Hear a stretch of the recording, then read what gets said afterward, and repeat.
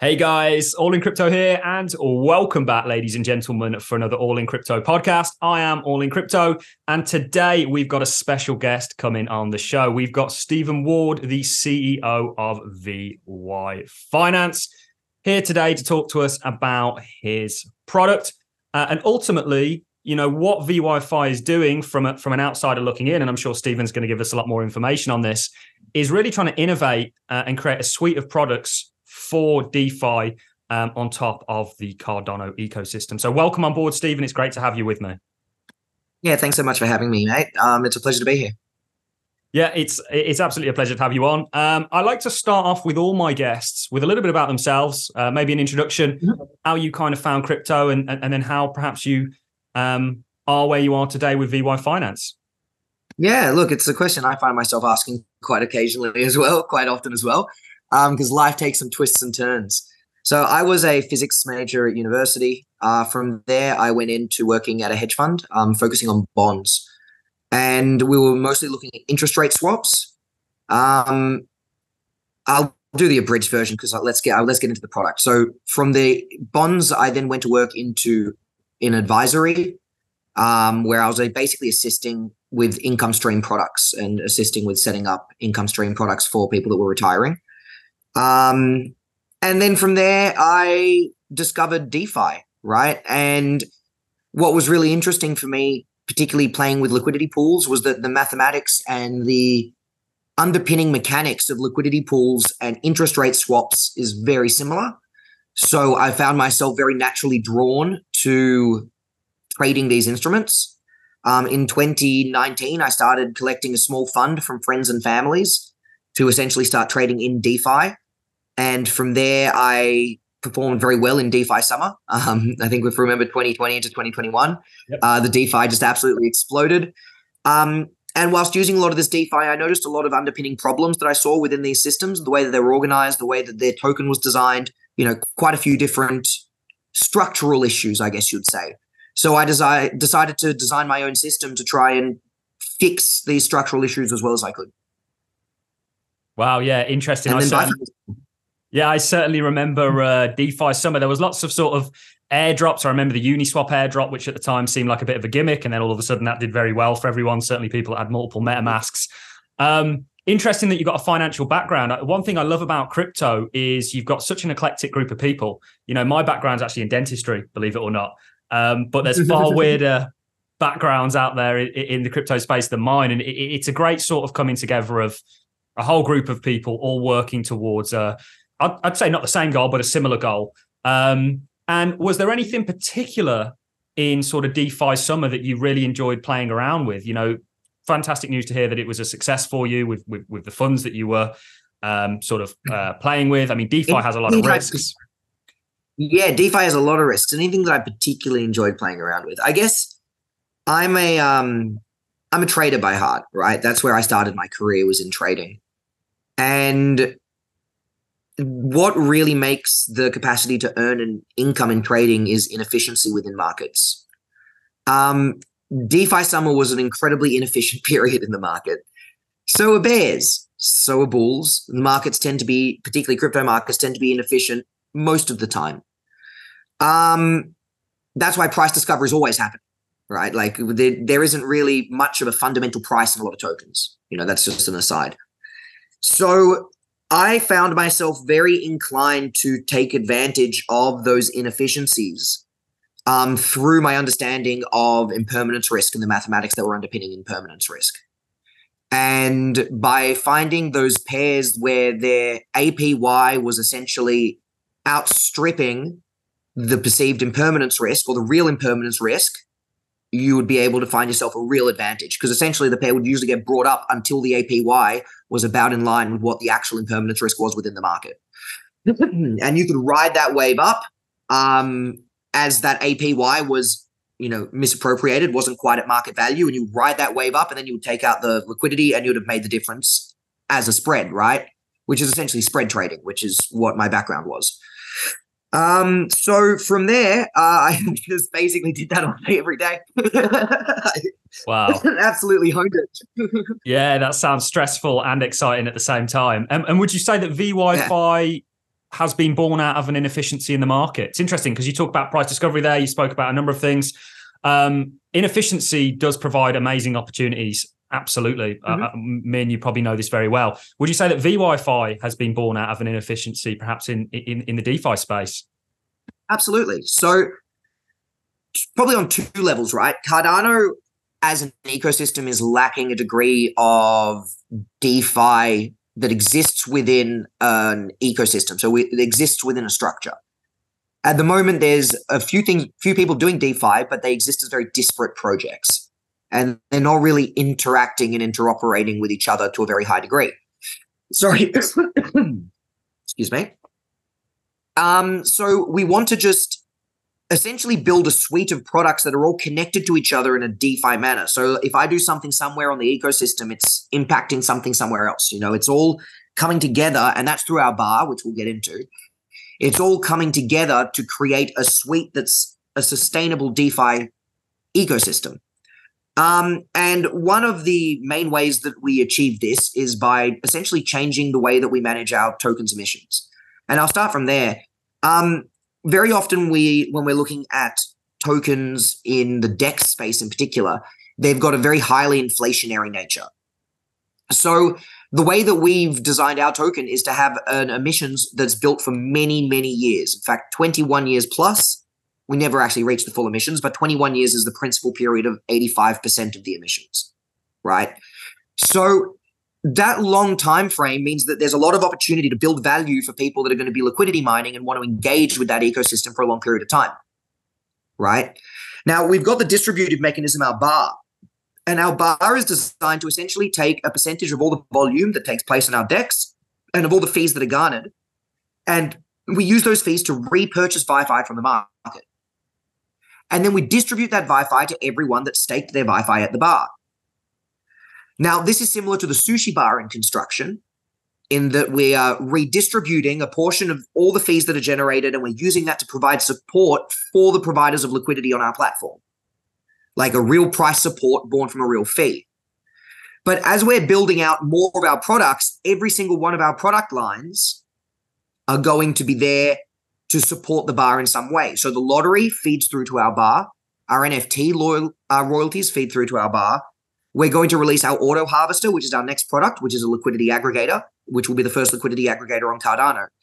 And a portion of all the farm, 10% of all the farm that's generated from the liquidity aggregator is going to be converted to VyFi and, you know, state uh, served, sorry, to our bar. So all of these systems that we're implementing are all being used to create a sustainable demand for the underlying token that's being used to provide reward to the liquidity providers on our market. In turn, providing a consistent stream of real liquidity coming into our farming token and allowing for farmers to engage for real long term income through liquidity rewards. Interesting. That, there's a lot to unpack there, I think. Um, let's maybe go back a bit and let's just start with uh, uh an overview of VyFi. So, if, if, I'd never heard of VyFi and I came to you and I said, Steven, what is VY What is VY Finance? What are you going to tell me? Okay, so VyFi is, in a few simple words, elevator pitch, a DeFi suite that allows users on the Cardano chain to manage their funds in a safer and more reliable manner. That would be the easiest way that I can describe it. Okay, and how, um, and, and how are we doing that? Yeah, so we'll look at it from the perspective of our DEX. And we've created a DEX that's very uniquely Cardano in implementation. So we've involved a lot of Cardano's unique technological capacities to create some unique systems within our DEX that you won't see on any other blockchain. So an example of that is we have stakeless LP farming. So that means that you don't actually need to stake your LPs into a farm to be able to access the rewards that you have for actually holding liquidity. You just hold those LP tokens in your pocket. And, and does that get do, do now, those rewards get distributed to you in the form of an airdrop or, or, or how does that work? They get they they're claimed through our site just like you would stand just like you would on normal claim from a farm. But okay. one of the advantages, of course, is that because we're doing it as stakelessly, we're able to aggregate all the farms, and you actually can't even harvest a farm one by one. You aggregate all of it and you only harvest all the farms. Right? Wow. So you can hold you can hold 50 separate LP tokens in your wallet and you're automatically farming all 50 LP tokens from our site simultaneously. Yeah, and this is actually now, the advantage of Cardano uh, and the way that it's built because if you were to do that on Ethereum, for example, your gas fees would be oh, I dread insane. to even think. Yeah, exactly. And not only that, but we've got dual rewards as well, which means multiple of our pools are offering two tokens, three tokens at once for farming. So you could have 15 tokens in rewards, all of them in dual farms, and you could be doing a single harvest that's costing you, I think it's three Cardano as a total fee, three Cardano, and you're going to be receiving 30 tokens back as your reward. Wow. Right. Um, and sorry, I should say 16 tokens back as your reward because the dual farms means one different and VyFi. sorry. Um, but that number is scalable, right? So, um, so that's one of the ways that our Dex is very unique and easier for a user to interact with. But now what's taken place here is that we've left the LP tokens in people's wallets. And these LP tokens are actually derivative tokens that contain the underlying contents of the LP. So rather than just being thought of as a token that gets locked away and put into a vault that you don't think about as soon as you've made it so you're able to access farm, and then the only time you touch it again is when you withdraw it from the vault, we've now, by leaving these tokens in people's wallets, given access to the LP token's value itself. So the, the first way we've implemented this on our DEX is with layer two liquidity farming. We're calling it L2LP, layer two liquidity pools. What this essentially is, it's a system where you provide your liquidity pool token and your Cardano, just like you would with a liquidity pool, and you supply that to liquidity. It's like Inception with liquidity pools, right? Yep. And by supplying that to liquidity, we've now created a brand new market on our swap where people can actually directly go and buy LP tokens or wow. sell LP tokens directly into the market. Inter- right? Very interesting. I don't think that's done Certainly anyway. on card, yeah. Uh, I'm trying to think. Even I mean, I, I use uh, pretty much most DeFi spaces, or at least I've checked them out. I can't really think where that's done anywhere, to be honest. No, no, that's not. That's something that only becomes available because we're able to leave the liquidity pool tokens unlocked and available to actually access that value. Right now, the beauty of our system, and this is where it becomes incredibly user friendly from a front end side You've never engaged with liquidity before, but you want to learn. You can come to our swap and you can just put in 100 Cardano and you can buy 100 Cardano's worth of the liquidity pool token for, let's say, Cardano VyFi. As soon as that liquidity pool token hits your wallet from the swap, you're instantly farming. You don't have to do anything else, wow. right? Because it's stakeless LP for them. So that means we've taken the entire process of adding liquidity, approving a farm, depositing to the farm, and harvesting has essentially just gone to do a swap. Now you're fine. Yep, you've basically rolled it up into a derivative. Uh, it, it, it's not a yep. derivative. Well, it kind of is a derivative. It's sort of in, in in a financial term, but that's pretty cool. I mean, that's not just pretty cool. That's that that that's very cool. Certainly for new users to Cardano or new users to Dex is just full stop. Um, so just in layman's term, let, let's let me let me maybe try and break that down. You can tell me if I'm wrong on any point here. So if you mm-hmm. wanted, in opposition with going to to a normal Dex, to um, farm liquidity, not only can you do it in the normal way, but it's more than that because the LP token you don't actually have to stake, but then you can, in this layer two fashion, um, actually then provide pools for it. Again, you're instantly getting rewards, but then you're getting extra rewards for providing extra liquidity via this token that then people can buy and instantly get access to to right. being farmers uh, as a result of. That right. is pretty genius, to be honest with you. And now let's think about it. Let's think about it from the provider's perspective, from the LP provider's perspective. Your liquidity pool token position is 50% Cardano, 50% VyFi, as an example. 50% token A, 50% token B. Doesn't really matter what they are. If I now create a layer two liquidity with this and I'm matching it with Cardano, the underlying token of the blockchain, so let's call that token A, I've got now my LP token, which is 50 50, and I've now added 50% value of token A. So now my total liquidity pools portfolio is 25% token B, 75% token A. What we've essentially done is we've created a hedge against our impermanent risk because as the value of the token reduces and you're losing value in the liquidity pool, the layer two liquidity pool is earning more liquidity pool tokens, reducing the net impermanent risk that your portfolio is experiencing by 50%. And that's with respect to the base currency token A, I should add. That's not with respect to dollars, dollars in this case. Yeah, um, impermanent loss is a, is a real risk with DEX. It's something I've suffered from in the past. I think it's something that puts many people off. It's quite scary, isn't it? Really, if you if you don't know how to manage mm-hmm. it and, and you're not very savvy with this sort of stuff. I think the interesting thing could be, I mean, have you guys got any stable coins on your DEX as of yet? We do. We've got the Cardano stable coins. Djed isn't super stable. IUSD is more stable than Djed. Yep. Um, and we're actually hopefully next so in the next sort of what week and a half we're going to be setting up our first stable coin layer 2 liquidity pools wow with IUSD because that's when things so get I think really interesting yeah yep. yeah because then what you can do you can do compound positions where you do something like ADA VyFi and then 50% IUSD so now you've got yourself essentially and you'd have to run the numbers on this I don't know exactly what it is because in a portfolio you're balancing it against other positions but you're essentially creating yourself equivalent long and shorts in other markets. I've got 50% IUSD. Now I've got ADA VyFi. As VyFi goes up, I'm shorting ADA because I'm gaining more ADA and I'm losing VyFi through impermanence risk. But the net value of that is being balanced by the IUSD that's being bought and sold against the liquidity pool tokens on the other side to hedge. Yep. Sorry, to arbitrage. Right. So this the other thing is as well that this system is n generalizable, right? So right now it's not engine. We can't do it for infinity liquidity pools. We haven't set up the systems yet. We're taking it step by step. But as a user, what would be amazing is if you know that you have a portfolio that's let's say 10% one token, 10% another across five separate tokens, and then you want 50% in USD, right? Yep. You can set up these customized liquidity combinations where you could say, I'll take 10% of this, match it with USD, 10% of this, match it with ADA, 10% of this, match it with USD, take these two liquidity pool tokens, put them together, and make a layer three liquidity pool, right? Because I've got yep. two LP tokens that are now balanced against each other. And as long as you've got bots that are there arbitrating and checking the values of all these, and there's enough liquidity in there to make them worthwhile, functionally, you should be able to build yourself customized hedging positions dependent on whatever your portfolio's design is.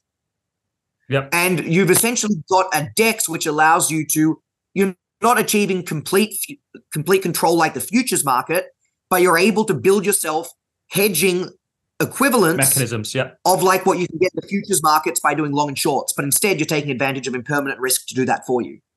Wow. Yeah. I mean, Pete, I think futures are massively misunderstood, even in the financial world, let alone the crypto world.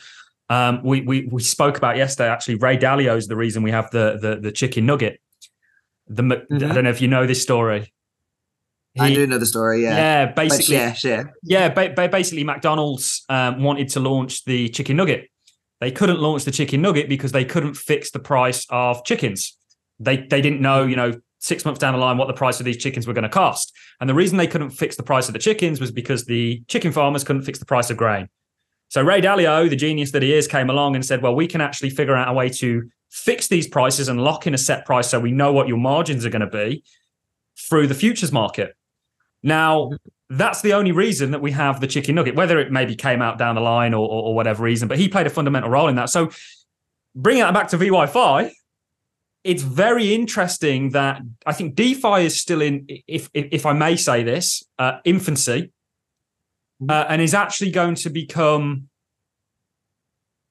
just the possibilities and options for, for, for DeFi, and, and, we're talking about one, there's many more in regards to the DEXs and the arbitraging and the kind of uh, hedging that you can do with that, is going to become infinitely more useful and the, and the possibilities are going to become infinitely more. And, and, and this is fascinating. I mean, it, it, I, I love talking to projects that are doing something different. How many DEXs are there out there?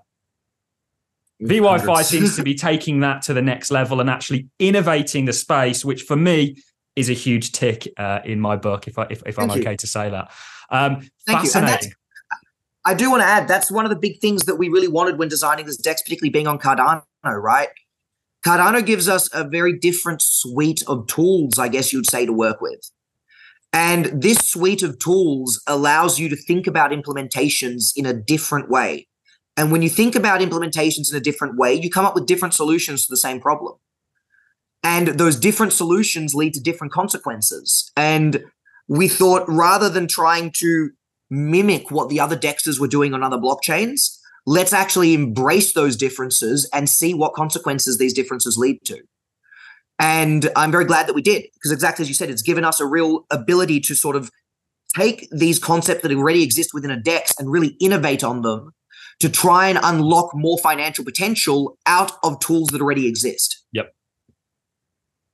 Yep. And we are super excited to continue expanding on this. Another idea. So this this is another example. Um, working with lenders to be able to use LP tokens as collateralization.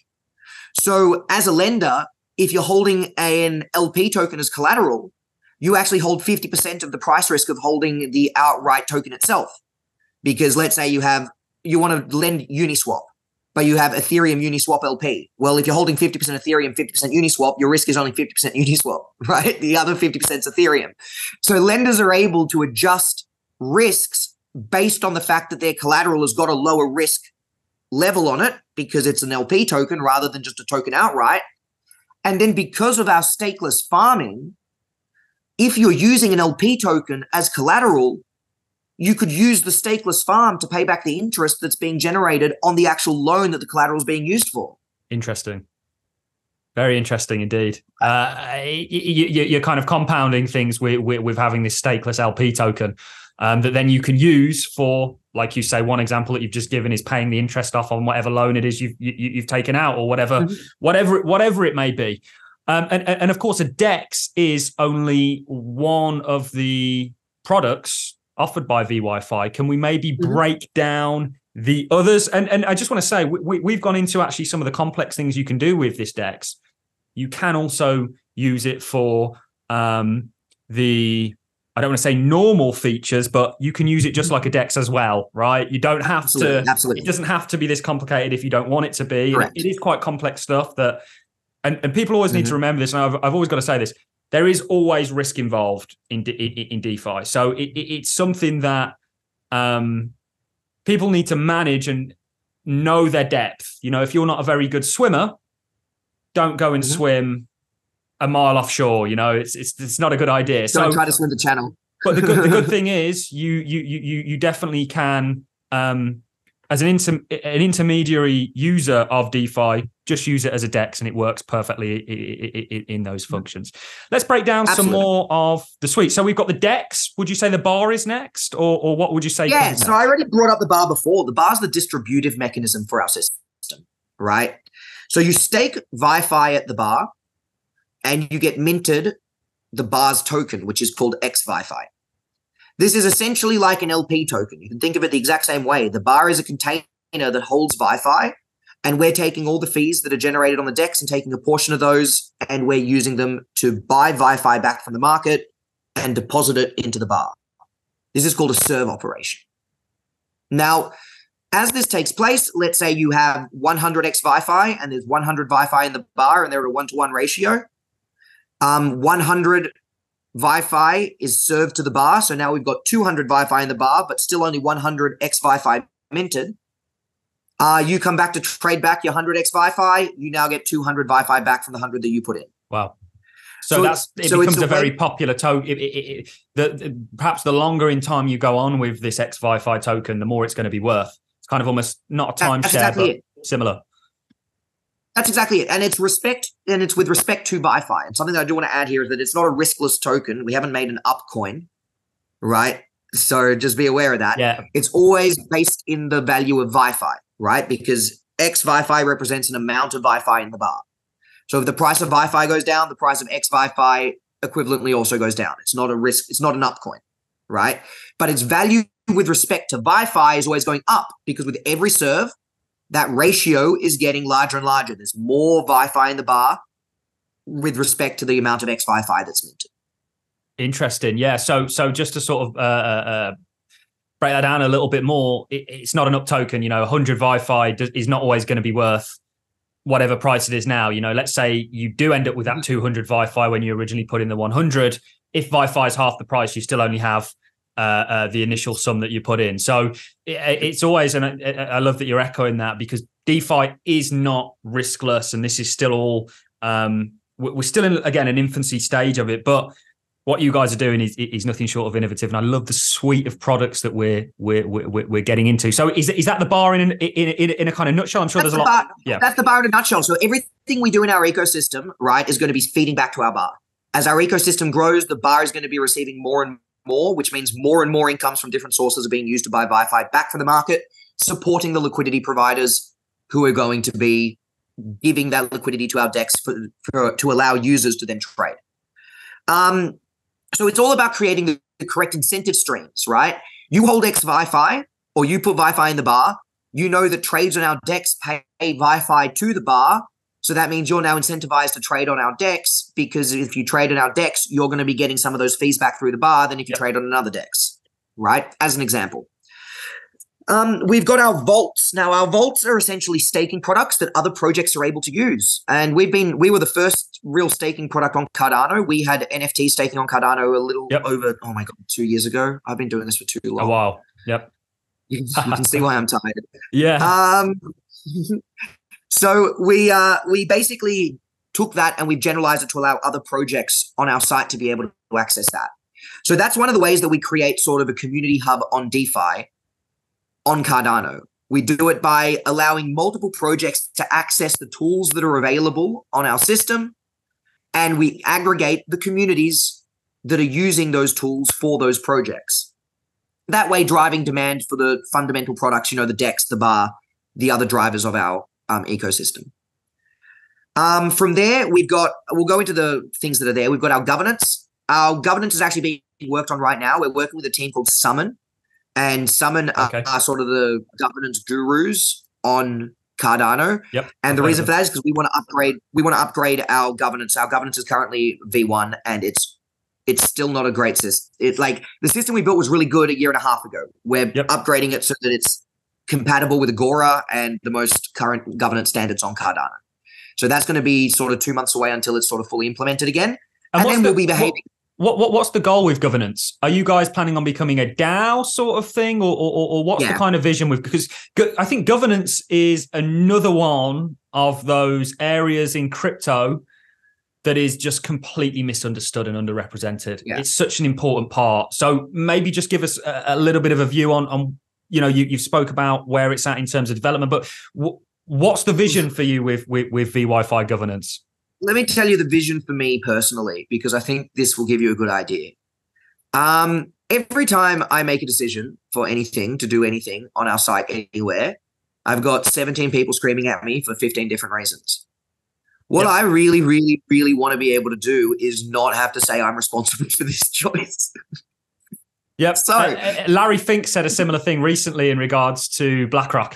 He said he he didn't want to be. He goes, I, I, I love the idea of governance because it means we we can just take a step back and be the you know the the the kind of uh, correlator of it all.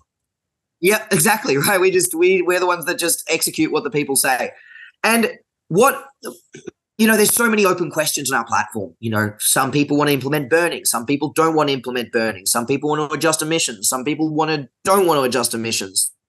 Some people want us to focus on want to focus on something on the front end or some kind of development that we might want funding for. That's what the treasury is for. You know, so many people want to do so many things, and I honestly and the team, to a certain degree, we can't answer these questions because if we make any decision, then the community is it's very one it's very risky and two we want to make sure that it's a more majority approved you know like it's really as simple as that. Um so there's so many things that we want to get done once the governance is up and running. First and foremost we want to start working uh, we want to start building working groups where we essentially get co- volunteers from the community who are you know well versed in their respective fields whatever that is. You don't have to be a mathematician for example but you know you're somebody who has some knowledge um, and is willing to do a little bit of research to answer some questions for us, like what might be the best options for burning, right? How do we expect the different options for burning to impact our system? Um, and then create a little, you know, five to 10 page report that they can release to the community. And then we can have the discussion to work out how do you think we might want to implement burning? And then the community can vote on whether that's going to be an option or not. That's the process that we want to follow. right? And from the treasury, you want to be rewarding those in the wor- working group once the thing is passed proposal and has gotten through to the vote stage. Upon completion of the vote, the working group has essentially completed their task, and the working group would be rewarded from the treasury. Perfect. What's their reward? That's also something that needs to be voted on, right? So, yeah, of course, all these things, all these things need to be voted on. Um, and we've got a lot of plans for our governance once it's once it's up and running. You know, uh, exactly as you said, I find it incredibly important for particularly a decentralized um, system. Yeah, and and then, and then it kind of you know takes its own life form almost. You know, it, it funds itself, it governs itself um, through obviously the, the, the partakers in, in, of the platform. Um, so we've covered a DEX, we've covered a bar, we've covered the vault, we've covered governance, and I believe the only thing that we've missed is lottery. Yeah, there's the lottery. The lottery's a lottery. There's also one other thing I want to discuss, actually. Yep. Um, the lottery is where you buy a lottery ticket with VyFi, um, and you you run you're in the lottery to win. you know, it's gambling. Uh, I was actually I'm really proud of lottery though. We were the first on-chain lottery on Cardano. Um, that was my own design. I was the first person to work out how to. Sh- not not the that's the wrong thing to say. I was not the first person to work it out. I was the first person to be stuffed doing it. I think is the correct answer. Fantastic. Um, People don't realize this about crypto as well. Actually, and I, I, I, probably shouldn't bring this up. It's like you know, I, I first heard about Bitcoin through Silk Road. Um, and people often go, "Oh, we can't talk about that because it was," and there's lots of different views on it. Um, but actually, uh, uh, Bitcoin crypto had a lot of its roots or uh, uh, early use cases in uh, gambling, believe it or not. so not that we're endorsing that at all, and always, you know, if, if DeFi is risky, there's a lot more risks in in, in gambling. I think sometimes can, people confuse it too. But yeah, so so so the lottery, you were the first uh, to to bring us back in. Uh, yeah, first on Cardano to implement it. So that was good fun, and ten percent of all the lottery uh, goes to the bar right? Perfect. So we're using that as another way to essentially boost the value of XVyFi um, and maintain rewards because you know you need to buy VyFi to engage with the lottery. So that means people are putting current uh, ADA into the liquidity pool, taking out VyFi, putting that into the lottery, and then 10% of that's going through to our bar. Again, supporting our um, liquidity providers. So the last one that I want to bring up is the auto harvester. So that's our next um, our next product that we're building. Um, now, an auto harvester is a liquidity aggregator, is what they refer to in other chains. We've decided to give it a bit of its own name on Cardano.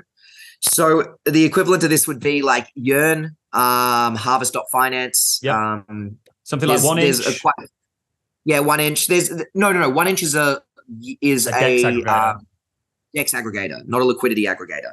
Okay. So what we do, what a liquidity aggregator does, is that it collects liquidity. So you'd put in Cardano, and it essentially just farms that for you across multiple protocols.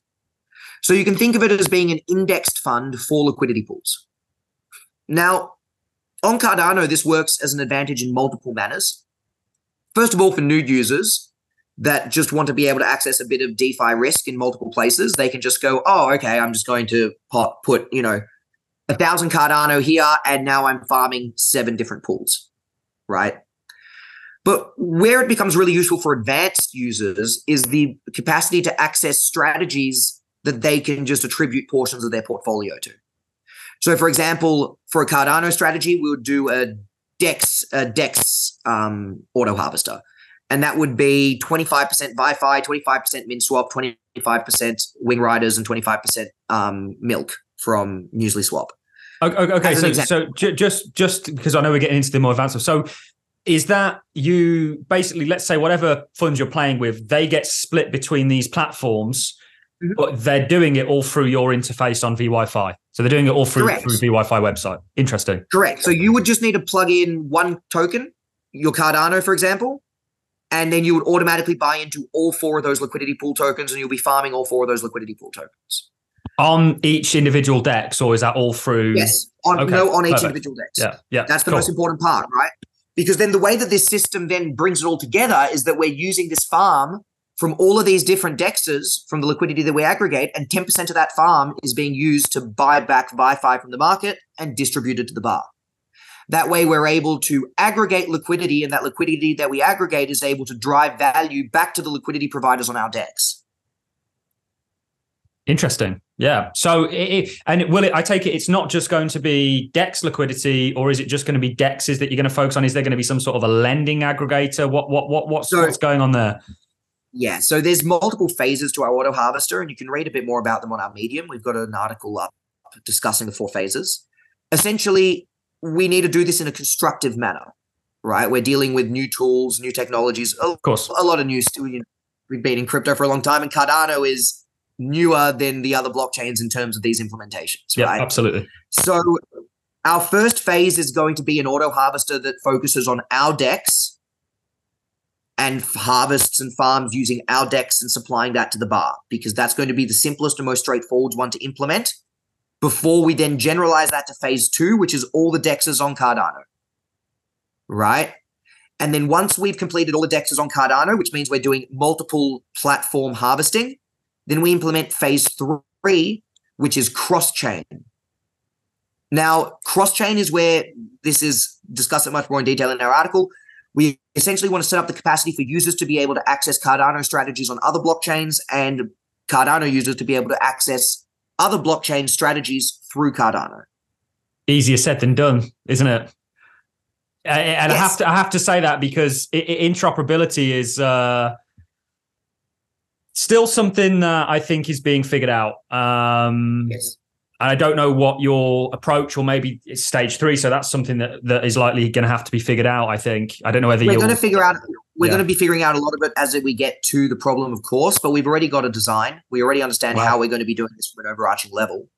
Um, we're implementing a tool that I'm calling liquidity beacons, and you can essentially think of a liquidity beacon as a um, a container that exists on multiple blockchains. Yep. And essentially, all we do is beam liquidity between these containers through messaging. Now, ex- exactly right. Yep. These containers then perform an action. That action is the strategy. That strategy is performed on whatever blockchain that's performed, and the profits are being generated in that box, right? But the equivalent minted tokens that represent your ownership of that liquidity beacon are held on Cardano. Okay. So whilst the work is being done over there, the ownership structure is held on the Cardano blockchain. Yep. And then it's it's a matter of just bridging it between the two to then be able to say these tokens now take from this liquidity beacon. Now, that might already sound complex, but if you know some stuff, I'm sure you'll yep. say, wow, that sounds way too simple for what you're trying to do. And as you said before, there's a lot of things that we still need to work out. Of course. But the overarching design that we have, we've already gotten a fairly consistent idea of how we're going to do this. And it should be possible given the tools that already exist. Yeah, it's fascinating. interoperability, I think, is one of those things that's still being figured out. I think people are uh, there's there's you know your bridges, your sort of locking and burning mechanisms. Uh, I think a lot of people try and really overcomplicate it, and they try and basically teleport the tokens from one chain to another. And it's like actually we in if you look at the traditional financial world, the messaging system kind of works, right? Um, mm-hmm. But we, we, I mean, we recently looked at Chainlink CCIP. I don't know if you've had a chance to check that out. Uh, no, I have not. Unfortunately, tell me. Their interoperability sort of protocol um, is basically a cross-chain messaging service um, for all blockchains. Uh, so you know, like, so, you'll need Chainlink. So you can use right now. I think they've implemented it on Ethereum, um, Polygon, and three other chains on testnet. Basically, you can execute a function on uh, one chain um, and basically sort of cross communicate with their messaging service, which is really interesting uh, and gaining traction. And I think there's, again, they might be, I don't think they completely null and void any other way of um, facilitating cross chain, but they're certainly people that are maybe pioneering the message side of things. So I'm very interested in the sort of interoperability space.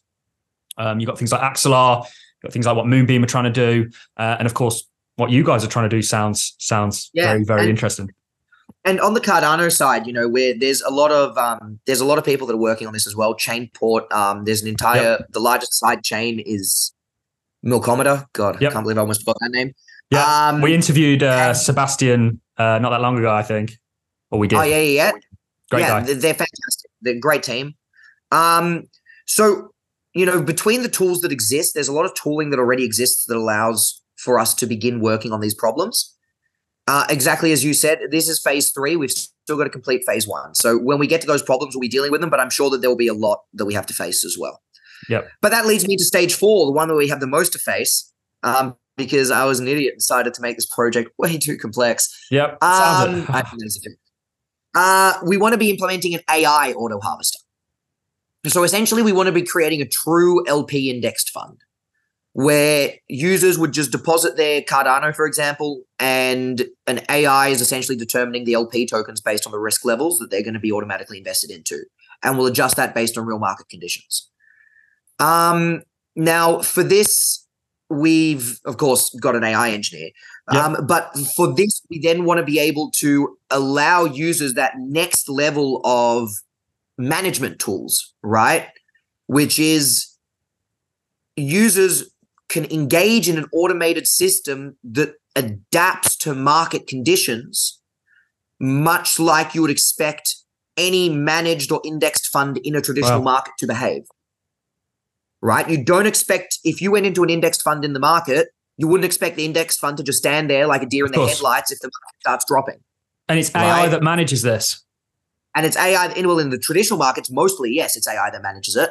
Yep. Um, unless you're in a managed fund, of course, yep. which you often you need to meet certain investor criteria before you're even allowed of to course. engage with managed funds. Yeah. Um, whereas that equivalent doesn't exist on the blockchain yet. Wow. Right. So we want to we really want to create true indexed funds for LP tokens.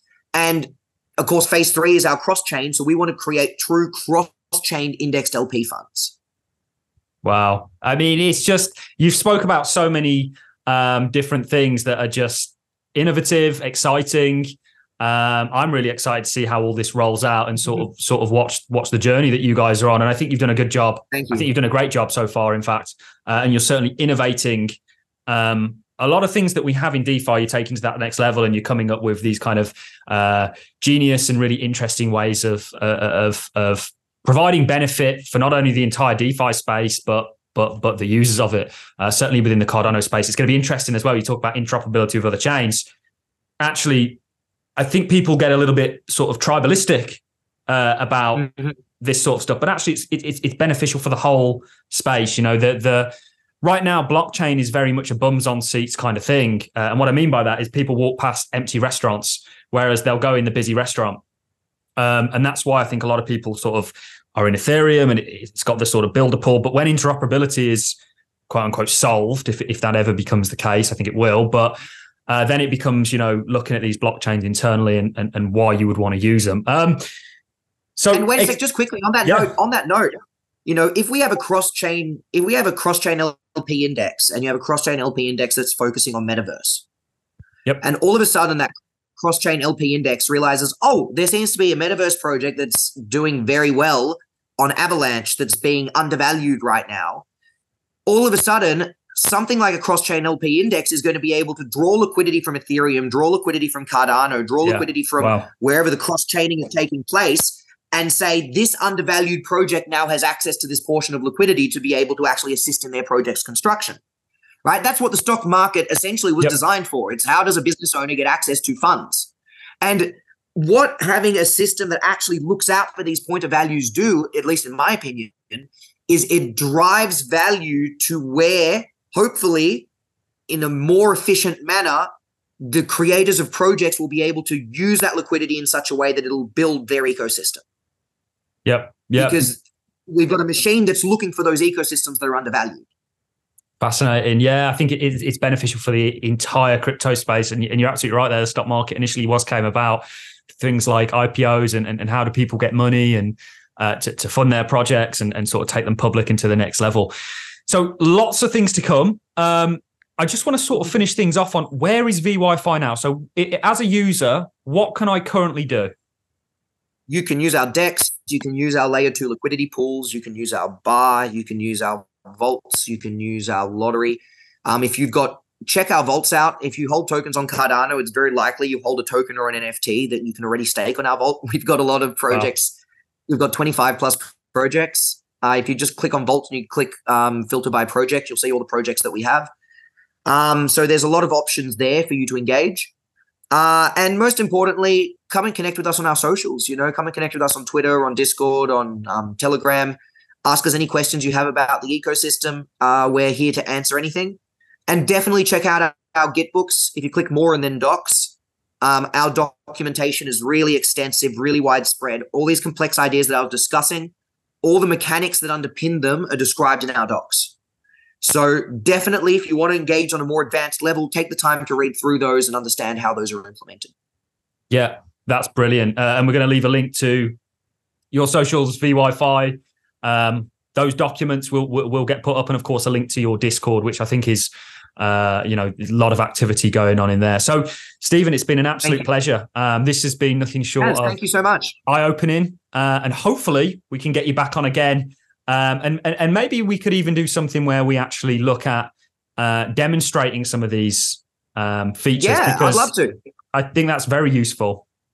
Yeah, absolutely. I'd love to give a little live demonstration. Um, you know, hit me up and we'll organize that. And hit up Johnny. We'll get that organized in the next sort of week or two. For sure. Steven, it's been an absolute pleasure, my friend. Thank you very much for coming on. Ladies and gentlemen, Steven Ward, so the CEO of VY-Fi. Thank you.